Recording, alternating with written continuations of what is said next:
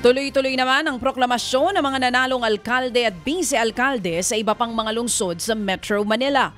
Muling manunungkulan para sa kanyang ikatlo at huling termino bilang alkalde ng Pateros, si re-electionist Mayor Miguel Ponce.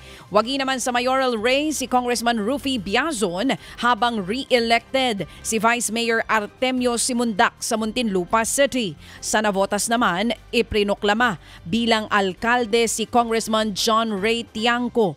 Samantala, wala pa namang naipoproklamang panalo sa lungsod ng Maynila pero nananatili namang malaki ang lamang ni mayoral candidate Hani Lacuna laban kay Alex Lopez. Kahapon na iproklama na rin ang iba pang nanalong kandidato sa iba pang mga lungsod. Ted Filon at DJ Chacha. Ngayon, nasa Radyo 5, 92.3 News FM. Monday to Friday, 6 to 10 a.m.